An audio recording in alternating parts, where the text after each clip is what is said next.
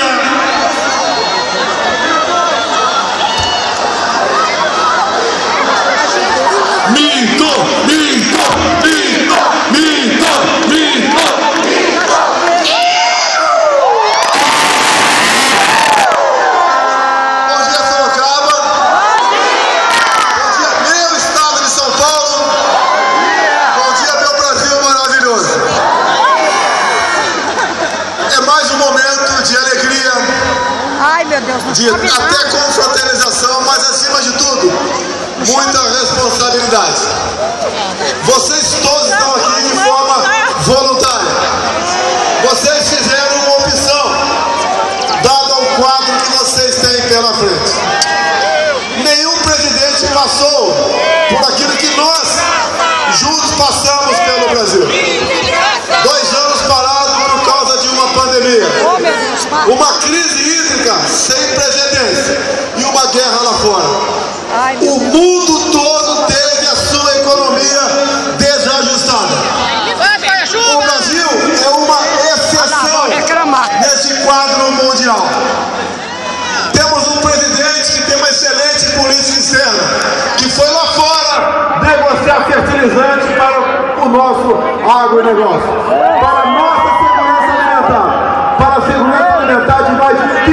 pessoas Vai, ao redor do mundo. Esse é um pequeno retrato do nosso Brasil. Um país fantástico. Tá Ninguém pouquinho. tem o que nós tá um temos. Terras agricultáveis, água potável, biodiversidade, riquezas minerais, clima aprazível e belezas naturais. E um grande pedaço de terra que eu chamo de terra prometida. Pedaço desse grande paraíso. Não tem preço.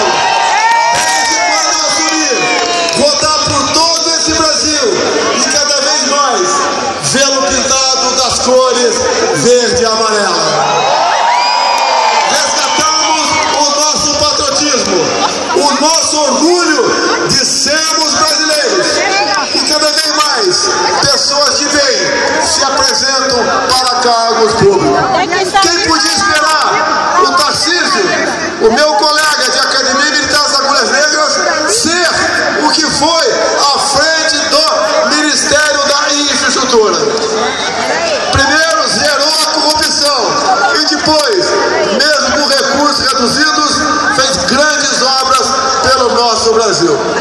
Podia esperar? O nosso astronauta Marcos Pontes, formado pela AFA e pelo ITA, o homem que teve a coragem de ir a 400 quilômetros de altura no espaço. uma mente fantástica, uma pessoa fenomenal. Não só ser ministro, mas como agora, tendo a oportunidade, pela vontade de vocês e do nosso Deus, de termos realmente um senador em São Paulo com S maiúsculo. Que foram provados por vocês e que agora estão dando um salto mais alto, não em causa própria, não em luta pelo poder, mas na vontade de servir a nossa população. Ninguém faz nada sem parlamento numa democracia. Aqui também temos excelentes deputados federais, estaduais, outros candidatos. Quem espera, obviamente, ao ter o apoio de vocês, somem-se de verdade a nós lá em Brasília. Nos momentos difíceis que passamos, a política em São Paulo sofreu muito com um governador que tinha uma calcinha apertada e que não pensava em nada mais além de ser presidente da República. Se elegeu usando o meu nome e depois virou inimiguinho, ficou brigadinho com a gente. Hoje está jogado na vala do esquecimento, na vala do ostracismo.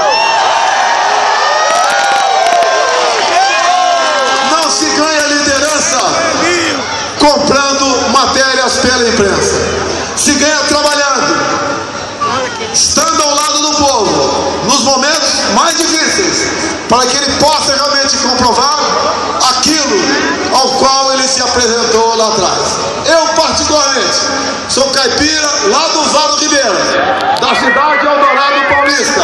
Fui criado lá. Está o meu irmão aqui presente, o Renato. Levanta o braço Renato. Tá lá embaixo. Pô, barraram o meu irmão, pô. Aí complicou o negócio aí. Viemos do local humilde, do lugar pobre, mas numa época bem diferente de hoje, onde a educação existia para valer. Chegamos à presidência, passando por uma facada, com a graça de Deus, sobrevivendo. Formamos um ministério, nunca visto na história do Brasil. A qualidade das pessoas que colocamos nos ministérios da presidência da República deram devido resposta para tudo que nós enfrentamos, a começar pelo momento difícil da pandemia. Fizemos pelos mais humildes, quando foram obrigados a ficar em casa, não por decisão do presidente da República, atendemos aos mais humildes com auxílio emergencial. Fizemos o que tinha que ser feito. Temos um ministro da Economia que é um exemplo e admirado por todo mundo, o Paulo Guedes, que soube conduzir a economia do nosso país. De modo que hoje vocês, ao compararem o Brasil com o mundo, o Brasil está lá na frente, está lá na vanguarda, está dando exemplo para o mundo. Inflação em baixa, PIB em alta, desemprego em baixa, violência em baixa. Todos os números são positivos no nosso governo. Mas isso vem da coragem que tivemos de colocar ministros técnicos sem indicações político-partidárias. Indo para o outro lado, que é muito importante, o lado do conservadorismo, o lado da família. Temos um governo hoje que, apesar do Estado ser laico, o presidente acredita em Deus.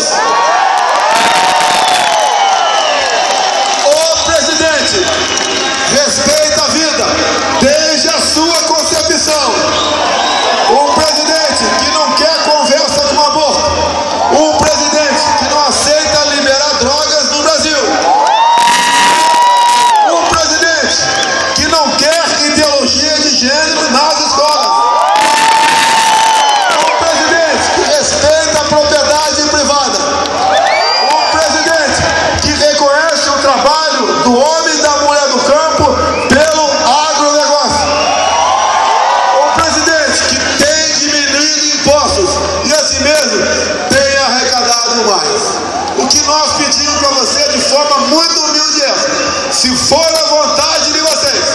estou à disposição para continuar por mais quatro anos à frente da presidência.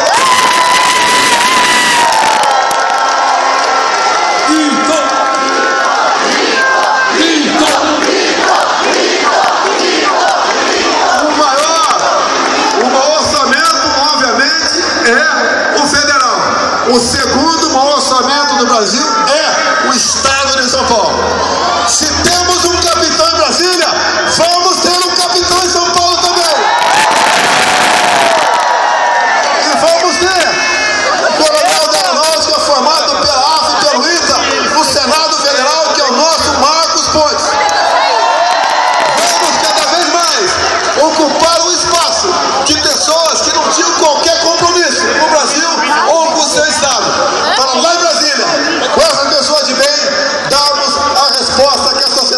tanto precisa e merece.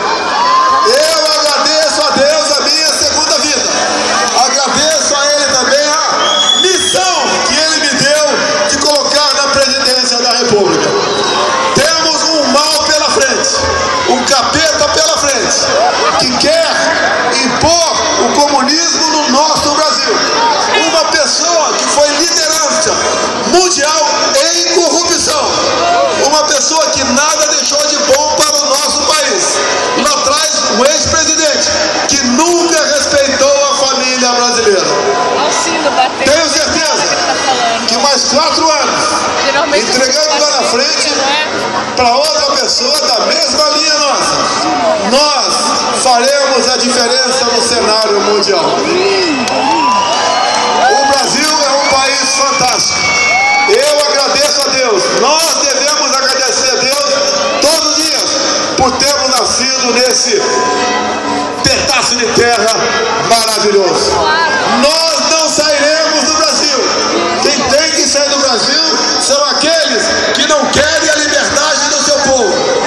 Aqueles que não aceitam o livre mercado. Aqueles que querem colocar numa situação que se encontram outros países pela América do Sul. E vocês acompanham. Muito bem.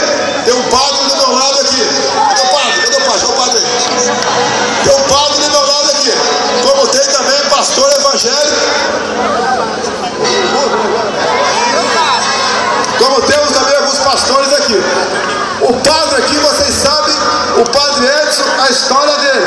Vocês sabem muito bem a preocupação dele. O seu compromisso de pregar a palavra. O seu compromisso de lutar por liberdade ao seu povo. E ele poderia aqui contar a história do que está acontecendo lá na Nicarágua, cujo ditador Daniel Ortega é amigo de Lula da Silva aqui no Brasil. Lá estão prendendo padres, fechando rádios e televisões católicas e expulsando freiras do país. Nós não queremos isso. Nós não admitiremos isso no Brasil. E passa, obviamente, pelas mãos de vocês, pelo trabalho de vocês, fazer com que pessoas de bem ocupem todos os cargos eletivos que existem no Brasil. O padre não quer falar. Então, eu tenho certeza, se ele está aqui, ele apoia o que vocês estão se propondo a fazer aqui agora. É tomar partido por ocasião das nossas eleições. É lutar pelos nossos interesses, interesse das pessoas de bem do Brasil. E é lutar pela, pelo futuro dessas crianças que estão no colo de alguns de vocês hoje em dia.